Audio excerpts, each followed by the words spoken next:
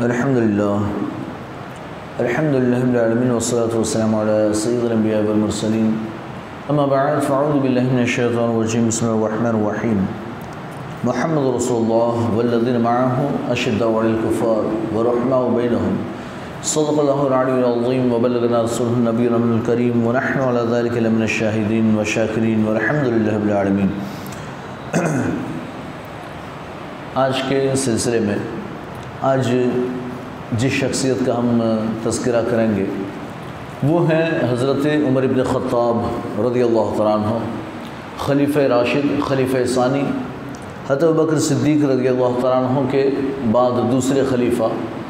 अल्लाह के रसूल सल्लल्लाहु अलैहि वसल्लम के चहीते सहाबी और मुराद रसूल सल्लल्लाहु अलैहि वसल्लम। अल्लाह के रसूल सल्लल्लाहु अलैहि वसल्लम ने दुआ मांग कर आपको मांगा है। तो अल्लाह के रसूल की चाहत है, अल्लाह के रसूल की मुराद है। हत उमर इबन ख़त्ताब रदी अल्लाह तआला हत उमर इबन ख़त्ताब रदी अल्लाह तआला का जो इब्तदाई ज़माना है, इब्तदाई दौर है, वैसे आप तो बड़े बहादुर थे। ज़माना जाहिलियत में भी आपकी बहादुरी के चर्चे थे। लोग आपसे कांपते थे, डरा करते थे। जहाँ हत उमर खड़े हो जाएँ, वहाँ किसी और में बोलने की हिम्मत नहीं होती थी। तो ज़माने जाहलीत में भी आप जो है बड़े बहादुर थे और इस्लाम के सख्त मुखालिफ, इस्लाम के सबसे बड़े दुश्मन, अल्लाह के रसूल सल्लल्लाहु अलैहि वसल्लम के सबसे बड़े दुश्मन, आपने अल्लाह के रसूल सल्लल्लाहु अलैहि वसल्लम को कत्ल कर देने का इरादा किया। चाहा कि सरकार को कत्ल कर दे, तलवार लेकर निकले भी। लेकिन रास्ते में हत नुआम मिले और उन्होंने जो है उन्हें बताया, यानी देखा कि बड़े गुस्से में जा रहे हैं। सवाल किया, कहाँ जा रहे हो? तो पता चला, बताया गया हत उमर ने कहा कि मैं जा रहा हूँ। आज मोहम्मद सल्लल्लाहु अलैहि वसल्लम का सफ़ाया कर दूँ, ख़ात्मा कर दूँगा। आज तो यानी कि मामला ख़त्म है, आखिरी दिन। तो उन्होंने कहा, जो रास्ते में सहाबी मिले थे, उन्होंने कहा कि, ए उमर ए उमर, उनका काम बाद में तमाम करना, पहले अपने घर की तो ख़बर ले कहा क्या हुआ, मेरे घर में क्या है? कहा तेरी बहन, तेरे बहन हुई, वो सब मुसलमान हो चुके हैं। वो ख़ुद उनका कलमा पढ़ते हैं, है ना, और नया दीन दीन इस्लाम उन्होंने इख्तियार कर लिया। तो हज उमर को और ज़्यादा गुस्सा आया, बड़ा जलाल आया। कि मेरे घर में भी ये दीन दाखिल हो गया। तो आप उसी गुस्से में जा रहे थे उधर, सरकार की तरफ़ पहुँच गए अपने घर के, अपने बहन की घर की तरफ़। और जब वहाँ पर पहुँचे, अपने बहन के घर, दरवाज़ा बंद था, दरवाज़ा खटखटाया। वाक़ बड़ा मशहूर है। बहन ने दरवाज़ा यानी कि कुरान की तिलावत हो रही थी हत उमर ने भी सुन लिया कि अंदर कुछ इस तरह का यानी कुछ पढ़ा जा रहा है। बहरहाल दरवाज़ा खटखटाया, बहन ने कुरान को छुपा दिया मुसफ़ को छुपा दिया। उस ज़माने में तो हमारे जैसा कुरान था नहीं। उस ज़माने में तो चमड़े वगैरह पर लिखा गया कुरान था और वो भी मुकम्मल कुरान नहीं, अभी तो कुछ सूरतें नाजिल हुई थी। लेकिन जो कुछ नाजिल हुई थी, उसमें से एक सूरत थी उनके पास। तो वो लेकर पढ़ रहे थे हज़रत सईद इबन जैद, उनके बहनों ही हैं और आपकी बहन दोनों पढ़ रहे थे और एक साहबी जो है वो उन्हें पढ़ा रहे थे दोनों को हत ये दोनों को पढ़ा रहे थे। तो जब ये यानी कि सुना कि हाँ भाई कोई बाहर, यानी हत उमर बाहर आ गए हैं तो जल्दी से कुरान छुपा दिया और वो जो पढ़ा रहे थे जो साहबी, वो भी छुप गए और उसके बाद बहन ने दरवाज़ा खोला तो हत उमर का जलाल गुस्सा था, बहन को एक तमाशा मार कर गिरा दिया। बहनों ही आगे बढ़े तो उनको भी मारा। खूब मारा पीटा लहूलुहान कर दिया। बस ये कि क्या पढ़ रहे थे? लाओ बताओ मुझे। है ना? और मैंने सुना कि तुम भी मुसलमान हो गए। ये इस तरह की बात है बहरहाल हत यानी कि उमर की बहन ने जब उन्हें, यानी कि बड़ा इसरार किया, कि लाओ बताओ, मुझे भी बताओ तो उमर की बहन ने कहा कि पहले आप गसल कर लें, पाक हो लें, है ना? उसके बाद मैं बताती हूँ, उसे बग़ैर तहारत के हाथ नहीं लगाया जा सकता। तो हद उमर ने तहारत हासिल की और उसके बाद फिर आपकी बहन ने आपको कुरान दिखाया। उन्होंने पढ़ा हद उमर ने कुरान की तिलावत की, कुछ आयतें पढ़ी और पढ़ी तो फिर दिल में ईमान आ गया। है दिल जो है ना वो नरम हो गया। आप वहाँ से यानी कि आपने कहा कि चलो मुझे ले चलो मोहम्मद सल्लल्लाहु अलैहि वसल्लम के पास। तो जो साहबी वो पढ़ाने आए थे, जो छुपे हुए थे, वो भी बाहर निकल आए। और आप यानी खुश हो गए, जो साहबी छुप गए थे पढ़ाने के लिए जो आए थे वो छुप गए थे। वो बड़े खुश हो गए और खुश होकर निकले। क्यों? इसलिए कि जान गए। अल्लाह के रसूल वसल्लम ने दुआ की थी। है ना सबको पता था, हर मुसलमान जानता था कि सरकार ने दुआ की अल्लाह, दो उम्र में से एक अता फरमा। दो उम्र में से एक अता फरमा। असल में एक का नाम उमर और एक का नाम आम्र है। और सरकार ने फरमा उमरैन में से एक अता फरमा, उमरैन में से एक अता फरमा। और वो उमरैन कौन है? एक का नाम उमर इब्न ख़त्ताब और दूसरे का नाम Amr ibn Hisham, Abu Jahl. Amr ibn Hisham, Abu Jahl. सरकार ने इन दोनों में से अल्लाह से कोई एक मांगा अल्लाह कोई एक अता फरमा। या तो उमर इब्न ख़त्ताब अता कर दे, या अमर इब्न हिशाम। उस ज़माने में अबुल हिकम था। बाद में सरकार ने उसे अबू जहल कहा तो फिर अबू जहल हो गया। है ना? अबुल हिकम का मतलब था बड़ा अक्लमंद, बड़ा जहीन। लेकिन सरकार ने जब से उसे अबू जहल फरमाया, जाहिलों का बाप, तब से वो जाहिलों का बाप हो गया। है ना? और यकीनन वो जाहिलों का बाप इस एतबार से दुनिया में जितनी भी अक्ल हो, जितना भी जहन हो, क्या फ़ायदा अगर वो ईमान ही न लाए? अगर दिन इस्लाम इख्तियार न करे, एक अल्लाह की मार्फत हासिल न करे तो बहरहाल अल्लाह के रसूल ने उमरैन में से एक को चाहा था और हत उमर मिल गए। अल्लाह ने उमर इब्न ख़त्ताब अता फ़रमा दिए तो इस वजह से हत उमर का लक़ब जो है ना, वो मुराद रसूल, मुराद मुस्तफ़ा अलैहि वसल्लम की, अल्लाह के रसूल की मुराद है, अल्लाह के रसूल की चाहत है।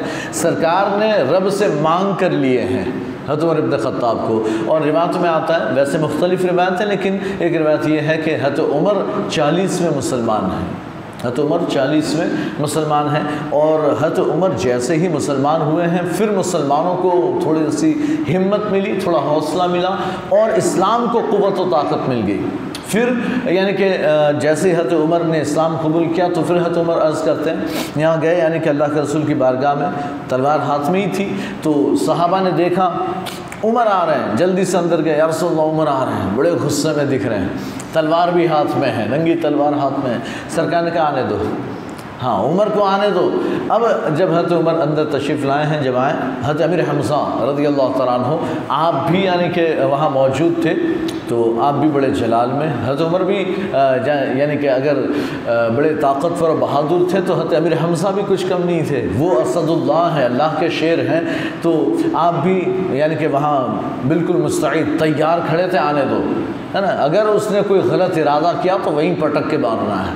हाँ अगर कोई गलत इरादा किया तो। लेकिन सरकार ने फरमाया कि उन्हें आने दो। जब हत उमर अंदर आए हैं, तलवार रख दिए, अर्ज़ करते यारसोल्ला मुझे भी आप अपने दीन में दाखिल फरमा लें। मुझे भी कलमा पढ़ा दें सरकार ने मुस्कुराया, कलमा पढ़ाया और मुसलमान हो गए। और जैसे ही मुसलमान हुए, अर्ज़ करते यारसोल्ला क्या हम हक पर नहीं हैं? हम हक पर नहीं हैं? सरकार ने कहा, बिल्कुल हम हक पर हैं। तो फिर हम छुपे क्यों हैं? हम दब कर अंदर क्यों बैठे हम निकलेंगे बाहर। आज जो ना खान काबा में खुलेआम हम नमाज़ भी पढ़ेंगे, यानी कि इबादत भी करेंगे और दिन इस्लाम की तबलीग भी अब खुलेआम करेंगे। सरकार ने कहा, ठीक है, चलो। चलो। तो अब जो है ना, सारे साहबा निकले हत उमर आगे आगे हत अमीर हमसा भी हैं, और सारे साहबा ने सरकार को घेरा हुआ है, सरकार दरमियान में है, और ये मुसलमानों की जमात जा रही है, बिल्कुल नारे तकबीर लगाते हुए। है ना, अल्लाह अकबर के नारे लग रहे हैं, कलम तयबा की सदाएँ बुलंद हो रही है, और इस हाल में आप पहुँचे हैं खान काबा के करीब। जब खान काबा के करीब पहुँचे तो कुफ़ार मक्का ने जब ये हाल देखा तो उन्होंने जो है यानी कि वो भी जमा हो गए और मुसलमानों से थोड़ी सी यानी कि फ़ाइट हो गई मुठभेड़ हो गई। आपस में एक दूसरे को लात मुक्का वगैरह मारना शुरू किया। इधर फिर यानी कि थोड़ा सा आ, फ़ाइट होने के बाद लड़ाई झगड़ा होने के बाद फिर वापस मुसलमान लौटे हैं और हज उमर ने खुले आम खान काबा के करीब आपने फिर खुले आम ऐलान किया कि सुन लो मैं भी मुसलमान हो गया हूँ और जिसमें भी दम हो ताकत हो हिम्मत हो तो आ जाए मैं मुसलमान हो गया हूँ, मैंने कलमा पढ़ लिया है। हत अमीर हमज़ा का इन हम एक सिलसिला करेंगे, उसमें मैं बताऊँगा। मुझे भी, अमीर हमज़ा भी बड़े ज़्यादा याद आ रहे हैं, लेकिन इन एक मुस्तकिल हम उनका सिलसिला करेंगे। तो हज़रत उमर फ़ारूक रदी अल्लाह तु मुसलमान हो गए चालीस में मुसलमान थे। बाज़ ने कहा कि उनचालीस मर्द और सात औरतें या ग्यारह औरतें या दस औरतें के बाद ये थे। बाद ने कहा कि मर्द औरत मिलाकर उनचालीस हुए थे, हज़रत उमर चालीसवें थे। बहरहाल, जिस भी गिनती से गिने, चालीसवें मुसलमान थे और हज़रत उमर की इस यानी हज़रत उमर के ईमान लाने के बाद फिर इस्लाम को बड़ी तकवीत पहुँची, बड़ी क़वत और इस्लाम जो है ना, फिर खुल कर सामने आ गया। फिर सहाबा इकराम खुलकर लोगों के सामने आए कि भाई हम भी मुसलमान हैं, हम भी मुसलमान हैं। और फिर लोगों में दावत आम होने लगी। तो हत उमर के ज़रिए इस्लाम को बड़ी क़वत व ताकत पहुँची, बड़े बहादुर थे। जब हिजरत का, यानी कि उसके बाद तो अल्लाह के रसूल सल्लल्लाहु अलैहि वसल्लम के साथ रहे। सरकार अरकम में थे, लोग आते, इस्लाम कबूल करते, सरकार की बारगाह में हासिल होकर। लोगों ने हबशा की तरफ़ हिजरत की हत उमर वहीं पर मौजूद थे, मक्का ही मक् मुआसमा ही में मौजूद थे, इसलिए कि आपको ख़तरा, कोई डर नहीं था। किसी से जो कमज़ोर थे या जिन्हें बड़ा सताया जाता था, अल्लाह ने इजाज़त दी कि हबशा की तरफ़ हिजरत कर सकते हैं। हबशा, यानी कि आजकल का इथोपिया, आज उसे इथोपिया कहा जाता है। है ना, मक्का, यानी कि सऊदी अरब, जिसे पहले हिजाज मुक़दस कहते थे, अब इन गधों ने सऊदी अरब नाम रख दिया। तो हिजाज मुक़दस और और इथोपिया, हबशा, दोनों के दरमियान एक दरिया हाइल है, सिर्फ़ दरिया है तो आस पड़ोस में है। बहरहाल तो हबशा की तरफ़ पहले हिजरत हुई, अल्लाह ने इजाज़त दी तो हबशा की तरफ़ हिजरत हुई और सत्तर के करीब मुसलमानों ने हिजरत की। उसके बाद, लेकिन हत उमर, यानी सरकार भी थे बकर सिद्दीक हत उमर, ये सब यहीं के ही थे हत इन्होंने हिजरत नहीं की। हत जब मदीने की तरफ़ हिजरत का हुक्म हुआ तो ये हिजरत ऐसी थी कि जहाँ इख्तियार नहीं था। जहाँ ये नहीं था कि जिसको करनी हो करे, जिसको नहीं करनी है, ना करे। नहीं, मदीने की तरफ़ हिजरत का हुक्म हुआ तो फ़र्ज़। हर एक को करना लाजिम है। इसलिए कि इथोपिया, यानी हबशा की तरफ़ हिजरत हुई तो वो एक यानी कि बस थोड़ा अमन सुकून मिल जाए, चैन मिल जाए। वहाँ कोई अपना था नहीं, अपना कोई नहीं था। लेकिन ये कि वहाँ का बादशाह बड़ा अच्छा था। और ये अल्लाह तबारक ताली जानता था कि वहाँ का जो बादशाह है वो भी ईमान ले आएगा और वो मुसलमानों को अमन अमान से रखेगा तो इसलिए वहाँ की इजाज़त दी। लेकिन जब मदीने के लोगों ने सरकार के हाथ पर बैत की है यारसोल्ला आप हमारे यहाँ आ जाएँ, मदीना आ जाएँ। हम आपकी हिफाजत करेंगे, हम आपकी मदद करेंगे और आपको कुछ नहीं होगा। आप आ जाएँ, मुसलमान भी सारे आ जाएँ। तो सरकार ने अल्लाह ने इजाज़त दी हिजरत करने की, मदीने की तरफ़। तो अब हिजरत फ़र्ज़, कोई भी मक्का में रह नहीं सकता। मुसलमान जो हिजरत की ताकत रखता है, वो मक्का में रह नहीं सकता। उस पर फ़र्ज़ है कि वो हिजरत करके मदीना चला जाए। बहरहाल सारे लोगों ने हिजरत की तो हिजरत जो शुरू हुई हत अबू सलमा उम सलमा और उनका इन दोनों का बेटा सलमा। ये तीनों की सबसे पहली हिजरत है। उसके बाद भी साहबा ने हिजरत की, लेकिन सब छुप छुप कर हिजरत करते थे। मौका मिला, देखा कि हाँ मौका है। तो फ़ौर निकल गए, रात के वक्त निकल गए, कभी मौका मिला तो निकल गए, कभी दो लोग निकल गए, कोई एक ही निकल गया, कोई पाँच छः आदमी मिलकर निकल गए। इस तरह यानी कि धीरे धीरे थोड़े थोड़े लोगों ने हिजरत करना शुरू कर दी। कुफार मक्का की, यानी कि निगाहों से बच कर छुप कर हिजरत करना शुरू की और ये सारे लोग हिजरत कर कर के मदीना पहुँचने लगे। हत उमर रदी अल्लाह तत उमर फ़ारूक रदी अल्लाह तु ने हिजरत की है। तो आपके साथ और भी दो साहबा और भी थे। जब इन्होंने हिजरत की तो भाई तय पाया कि हम तीनों कल हिजरत करेंगे। तो कल सुबह या दोपहर के वक्त जो है वो इस पहाड़, मदीने के करीब में पहाड़ पहाड़ के पीछे का इलाका, वहाँ का नाम लेकर कहा कि पहाड़ के पीछे हम तीनों इस वक्त में मिलेंगे और इस वक्त में अगर तीनों पहुँच जाते हैं तो तीनों साथ में हिजरत करेंगे। अगर कोई ना पहुँच सके तो समझ जाए कि वो पकड़ा गया है, बाकी के लोग जो है वो हिजरत कर जाएँ। तो तीनों ने ये तय कर लिया और यानी कि वक्त फिक्स हो गया। अब जब दूसरा दिन आया तो सारे लोग पहुँच यानी कि तीनों लोगों को पहुँचना था तो हज़रत उमर सबसे पहले खान काबा के पास गए। वहाँ सारे कुफर मक्का ऐसे बैठे हुए थे, एक टोली, जमात यहाँ बैठी, एक जमात यहाँ बैठी है, एक जमात यहाँ बैठी ऐसे सब यानी फैल कर बैठे हुए थे। ये उनकी आदत थी कि वो मस्जिद हराम के इर्द गिर सहन में जो है थोड़ा थोड़ा यानी कि जमातों में बैठते, गप्पे मारते, हँसी मज़ाक करते, गप्पे मारते, बातचीत करते।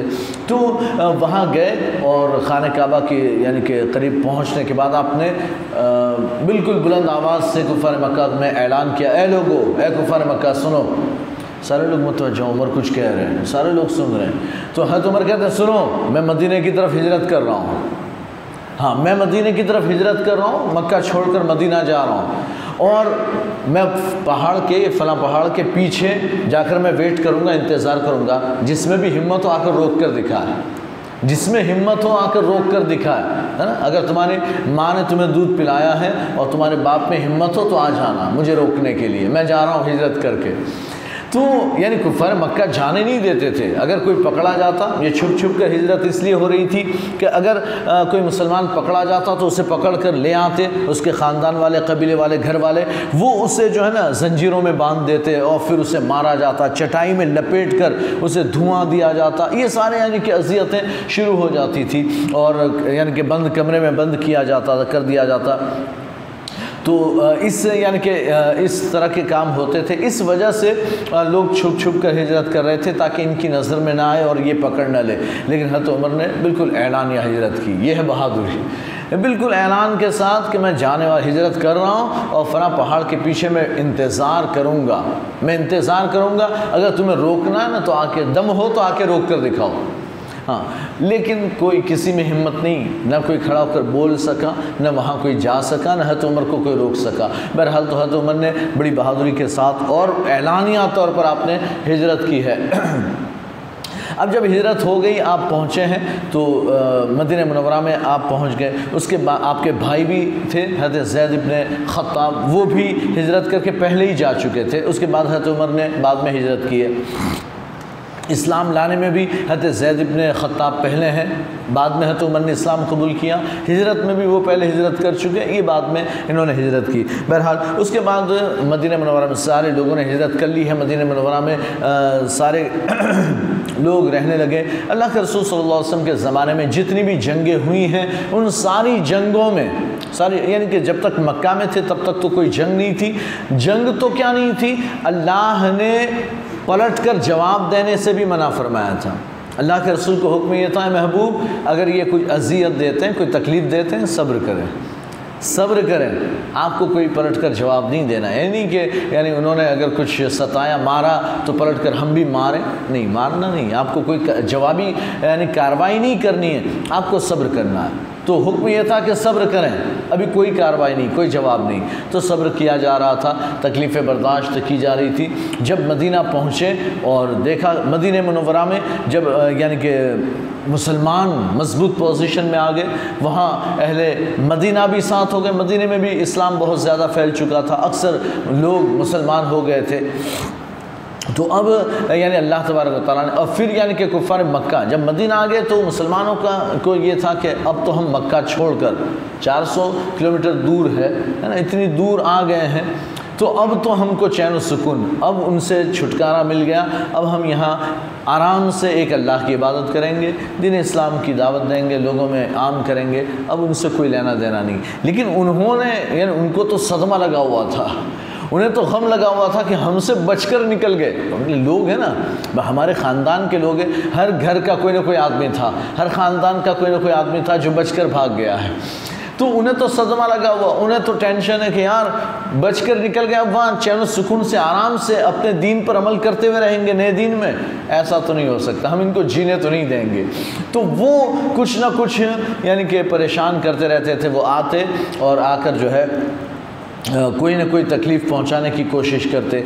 वहाँ से ख़त लिखते। यहाँ कुछ मुनाफिकीन थे, जैसे अब्दुल्ला इब्न उबैद इब्न सलूल उससे ख़त लिखा कि तुम जो है इनको निकाल दो अपने शहर से, वरना तो याद रखो, हम मदीने पर हमला करेंगे, उनके साथ साथ तुम्हारा भी सफाया हो जाएगा, तुम्हारा भी ख़ात्मा हो जाएगा। अगर तुम अपनी जान की खैर चाहते हो तो इन लोगों को मोहम्मद अलैहि वसल्लम और इनके साथियों को निकाल दो। वरना तो फिर हम तुम पर हमला करेंगे। यहूदी भी हमारे साथ है, वो भी, यानी हमारा साथ देंगे तो तुम तनहा तनहा हो जाओगे। ये वो सारी यानी कि डराना धमकाना। तो आ, अच्छा अब्दुल्ला इब्न उबैद ने सलूल तो जो ना तैयार भी हो गया था। ख़त पढ़ हाँ यार सही बात है। अगर इन्होंने हमला कर दिया अहले मक्का ने तो अपना क्या होगा? हमारा क्या होगा? ये तैयार हो गया कि हम जो है ना वो अहले मक्का को जवाब लिखते कि तुम आ जाओ हम भी तुम्हारा साथ देंगे और इनको हम निकाल देंगे। तो तैयार हुआ सरकार तक खबर पहुँच गई सरकार फ़ौर पहुँचे। अब्दुल्ला इब्न उबै ने सलूल के पास और जाकर उससे समझाया बेगते सुन, अगर अभी तो इस्लाम लाया नहीं था, बाद में बज़ाहिर उसने कलमा पढ़ा, लेकिन मुनाफिक था, दिल में कुफर छुपा हुआ था और मुनाफिकों का सरदार है। तो सरकार ने जाकर उससे समझाया कि देख असल में मदीने के अक्सर लोग मुसलमान हो चुके हैं। तो मदीने के जितने भी लोग मुसलमान हुए, वो सब अंसार कहलाए जाते थे। तो पहले अंसार नहीं, पहले तो कबीले औस या कबीले खजरज। ये दो कबीले थे, औस और खजरज। लेकिन जब मुसलमान हुए तो अब इनका नाम अंसार हो गया। तो ये जितने भी अंसारी हैं, कहते वो सब तुम्हारे ख़ानदान के, तुम्हारे कबीले के हैं। यानी अब्दुल्ला इबन इबन सलूल, वो भी औसो खजरत से ताल्लुक़ रखता है, और उसके जितने रिश्तेदार हैं, वो सब भी औसो खजरज के। तो आपने समझाया कि अगर तुम लोगों ने उनका साथ दिया और फिर तुम उनके साथ मिलकर अगर हमला करते हो, हमारे साथ मुकाबला करोगे तो तुम्हारे मुकाबले में तुम्हारे ख़ानदान के और घर वालों भी हमारे साथ होंगे। तो तुम्हें उन्हें भी कत्ल करना पड़ेगा, वो लोग तुम्हें कत्ल करेंगे। चलेगा? बर्दाश्त कर लोगे। तो अब्दुल्ला अपने उबैब सलूल के जहन में बात आई। हाँ हाँ बात तो है। हमको हमारे ही लोगों के ख़िलाफ़ लड़ना पड़ेगा, उन्हीं को मारना पड़ेगा। तो फिर वो रुक गया।